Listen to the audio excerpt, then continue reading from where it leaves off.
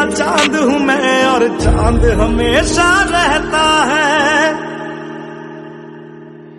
तेरी मिट्टी में मिल जावा, गुल बन के मैं खिल जावा। इतनी सी है दिल की आरज़ू।